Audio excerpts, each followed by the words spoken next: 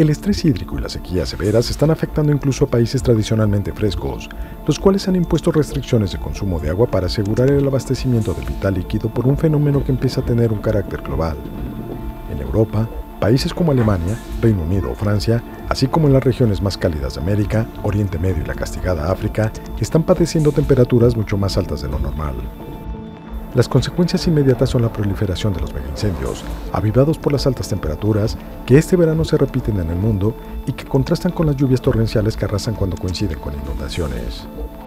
En la Europa meridional, tras tres olas de calor desde que empezó el verano, España ha visto ya mermado el volumen de agua en sus pantanos hasta alrededor del 40% de su capacidad total. También en Portugal casi la mitad del territorio parece sequía extrema,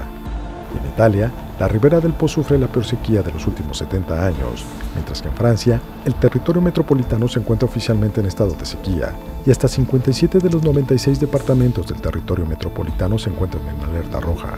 En el caso de Alemania, la sequía complica la navegación por el Rin, cuyo caudal es menor que el habitual, aunque sin llegar al mínimo histórico de 2018, y países como Polonia o el Reino Unido tampoco se libran de este fenómeno. Al otro lado del Atlántico, en Estados Unidos, la sequía sigue haciendo estragos, al igual que países como México, donde se declaró en julio la emergencia por sequía. Y en la ciudad de Monterrey, la segunda más poblada, más de 5 millones de habitantes carecen de suministro de agua potable en gran parte del día. En Argentina, la sequía continúa, aunque menos severa que en estas fechas el año pasado,